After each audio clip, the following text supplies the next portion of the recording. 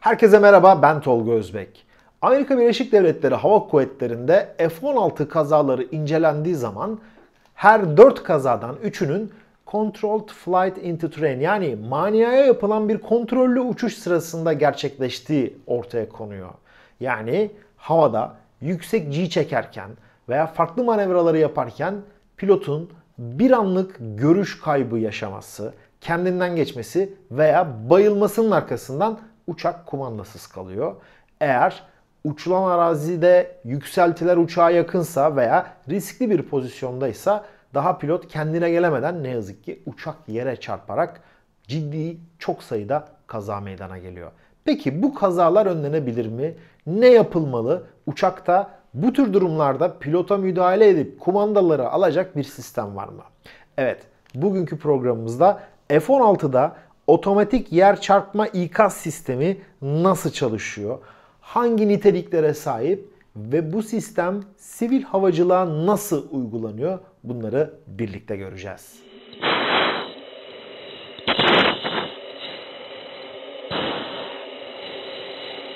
Fuel recover. Fuel recover. Fuel recover. F-16 ilk uçuşunu 1974 yılında yaptığında askeri havacılıkta birçok kuralı değiştirmeye başlamıştı. Çünkü ilk defa uçağın performansı pilotun performansını aşmaya başlamıştı. Bugün modern bir savaş uçağında pilotlar G Suite olarak adlandırılan özel bir elbise giyiyorlar. Havadaki manevralar artı G çekildiği zaman G harfi gravity yani İngilizce'de yer çekiminin baş harfi G'den geliyor. Bir G çekildiği zaman artı G'de pilotun vücudundaki kan bacağına toplanmaya başlıyor. Ve bunun da çeşitli şekilde işte bilinç kaybı veya kontrol kaybı yaşamaması için G Suite bacakları sıkarak kanın yukarı doğru çıkmasını sağlıyor. Bu artı G. Bir de eksi G var. Eksi G daha da tehlikeli çünkü kan beyne doğru gitmeye başlıyor ve beyindeki işte kılcal damarları zorluyor. Artı G'ye göre eksi olan çok daha tehlikeli. Bununla ilgili yapacak bir şey yok. Hem artı hem eksi G savaş pilotlarının, akrobasi pilotlarının sık sık karşılaştığı bir durum. Buna karşı fiziki olarak çok hazır olmaları, eğitim olarak çok hazır olmaları gerekiyor. Eğer bunlarda bir eksiklik varsa blackout yani işte bilinç kaybı, görüşün kararması veya eksicide daha kızıl hale gelmesi gibi birçok sorun arka arkaya yaşanıyor ve bu sorunlar pilotu kazaya kadar götürebiliyor. Biraz önce de söylediğim gibi Amerika Birleşik Devletleri'nde F-16 kazalarının %75'i kontrollü uçuş, maniaya yapılan kontrollü uçuş nedeniyle gerçekleşiyor. Ve 2014 yılında yeni bir teknoloji hayata geçirildi. Bu teknoloji otomatik yer çarpma ikaz sistemi. Yani kısaca OTOGICAS olarak adlandırıyordu. Peki bu sistem nasıl çalışılıyordu? Bilim adamları uzun yıllar araştırma yaptıktan sonra bu tür durumlarda pilotu kurtaracak bir sistem üzerinde çalışmalarını yoğunlaştırırlar. Burada uçağa konan sistem öncelikli olarak araziyi tarıyor. Ve F-16'nın bu uçuş sırasında çarpabileceği riskli yerler uçak tarafından belirlenmeye başlanıyor. Bu tür durumda pilotlar risklere karşı reaksiyon vermiyorsa bir yerden sonra bu otojikas olarak adlandırılan sistem kontrolü alıyor.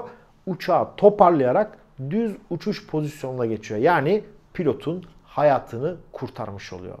Genellikle bu kendinden geçme, görüş kaybı veya bayılma gibi olaylar saniyelerle ölçülüyor ama F-16 o kadar performanslı bir uçak ki o saniyeler içerisinde çok ciddi irtifa kayıpları veya süratsiz kalıp anormal duruma girme gibi tehlikeler meydana gelebiliyor. Amaç burada sistemin hızlı bir müdahaleyle pilotun hayatını kurtarması. Bu sistem devreye alındıktan sonra ilk bir yıl içerisinde normalde ölümle sonuçlanabilecek 3 F-16 kazası e, önlendi ve sistem 3 pilotu ve 3 uçağı da kurtarmış oldu. Bazı durumlarda pilotlar çok geç kaldıklarında eğer kendine gelebilirlerse fırlatma koltuğunu kullanarak uçağı terk edebiliyorlar ama bu da sonuçta pilotun vücuduna sağlık açısından çok yüksek e, zararlar verebiliyor. Bazı pilotlar atlama pozisyonu, riskin artması nedeniyle veya sistemde yapısal teknik problemler nedeniyle e, çok ciddi sağlık problemleri yaşayıp tekrar uçuşa dönememe gibi sorunlarla karşılaşıyorlar. Onun dışında da tabii uçağın düşmesi milyon milyon dolarlar uçaklar. Tabii ki o pilotlar da e, bedava yetişmiyor. Bunlar da çok ciddi bir maliyet getirmiş oluyor. Basitçe biraz önce anlattığım gibi bu sistem her yıl çok sayıda F-16 pilotunun hayatını kurtarıyor. Benzer sistemler farklı farklı uçaklarda da yeni nesil savaş uçaklarında da kullanılmaya başlamış durumda. Ama bu sistem bir sivil uçağa uygulanabilir mi? Neler yapılabilir? İşte imalatçıların gözü de bir yandan burada. Bu imalatçılardan biri de Fransız Dassault şirketi. Biliyorsunuz geliştirdiği Rafale uçaklarıyla askeri tarafta oldukça kuvvetli Dassault şirketi. Sivil tarafta ise Falcon işjeti ailesi var ve bu Falcon işjetleri ki hem performans açısından hem de e, pazar kapasitesi olarak çok iyi uçaklar. Bu ailenin de en son modeli 10X Falcon 10X olarak adlandırılıyor. Dassault mühendisleri Rafale uçaklarında da kullanılan benzer bir sistemi özellikle pilotların anormal duruma girişte yani bazı hareketlere müdahale etmemelerinde sistem özellikle anormal duruma girişte kontrol kayıplarında müdahale ediyor. Uçağın kontrolünü tekrar toparlıyor ve pilotların uçağın kontrolünü tekrar almalarını sağlıyor. Bu durum özellikle çok yüksek irtifadan uçan, bazen kritik süratlerle gidebilen iş için çok önemli bir durum oluşturuyor. İş yolcu uçaklarına göre çok daha yüksek irtifalardan uçuyor. Tasarımları gereği bazıları oldukça uzun menzilli ve özellikle işte yaklaşmaları, inişleri normal standart dışı havalimanlarına daha kısa pistlere sahip, daha dar pistlere sahip havaalanlarına yapıldığı için bu açıdan da düşük süratlerde uçaklar havada tutulmak durumda. Bu nedenden dolayı da bu tür sistem uçuş emniyetinin arttırılması da çok önemli bir faktör. Bir başka sistem ise Garmin tarafından geliştirildi. Bunun adı Safe Return yani emniyetli dönüş olarak adlandırılıyor.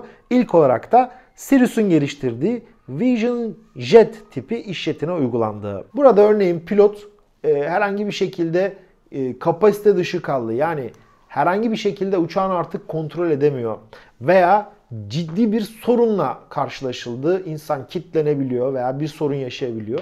Bu düğmeye basıldığı zaman Garmin Safe Return hemen e, planlama yapıyor. En uygun meydan için alçalmaya başlıyor. Bu meydanın pisti karşılanıyor, iniş takımları açılıyor, gaz kesiliyor, flap konuyor ve arkasından teker koyduktan sonra uçak yere otomatik frenleme gerçekleştiriliyor. Bu arada otomatik sistem telsizle o inilecek havalimanının veya hava trafik kontrol merkeziyle temas kurularak buradan otomatik mesajlar gidiyor. Geçtiğimiz Temmuz ayında bu sistem Amerikan Havacılık Otoritesi Federal Havacılık Dairesi FAA'dan sonra Avrupa'nın da ortak otoritesi EASA tarafından lisans verildi. Bu da havacılıkta emniyetin yükselmesi amacıyla sivil havacılıkta yeni bir sayfa açacak gibi duruyor. Görüyorsunuz eskiden pilot bütün kararları verirken işte otopilot veya diğer sistemler pilota yardımcı olurken bugün pilotlar biraz daha arka planda e, önemli konularda ana kararı sistemler veriyor. Yazılım bununla ilgili planlamaları yapıyor. En doğru kararı doğru zamanda ana sistem veriyor.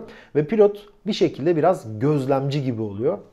Belki bu ilerleyen yıllarda pilotların birer yönetici gibi kokpitte görev yapmalarını sağlayacak veya acil durumlarda basarak müdahale etmelerini sağlayacak bir sisteme doğru belki de gidecek. Teknoloji bizi nereye götürecek? İşte insansız uçaklar bir yolcu uçağı halinde kullanılabilecek mi? İşte bunların insansız modelleri askeri havacılıkta yoğun olarak kullanılıyor ama bu iş nereye gidecek? Açıkçası ben de merak ediyorum. Malum askeri havacılıkta insansız hava aracı sistemleri giderek daha fazla ana muharebede rollerini arttırıyorlar. Performansları yükseliyor.